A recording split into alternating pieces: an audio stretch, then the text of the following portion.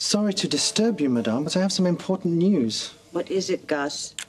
And please move out of my light. We received a report from the States.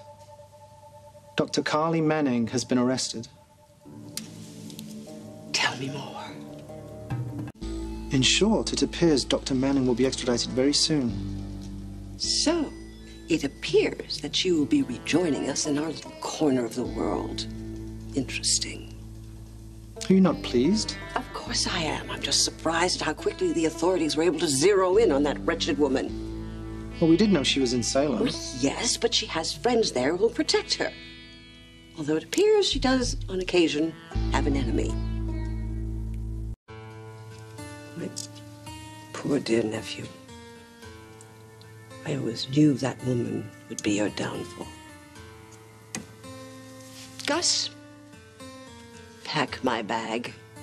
But I thought we I know, I know, I know. Anticipation. I know.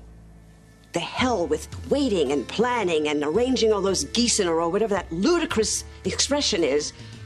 We have to wipe that woman off the face of the earth. Besides, Salem is simply lovely at this time of the year.